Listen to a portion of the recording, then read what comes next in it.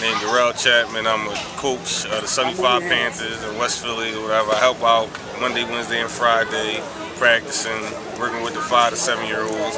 This is the organization that I came up through, so hopefully me giving back will help them the way I was helped.